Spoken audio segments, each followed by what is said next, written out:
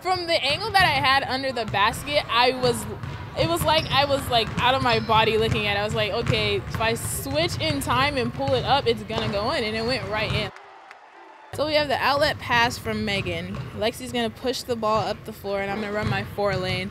I see her drive with her left hand, and as the ball's airballed, I go instantly for the rebound. I see Kelsey hold on to me, and I just go right up, falls right into the rim. I got the call, which was awesome, and the basket. It was perfect.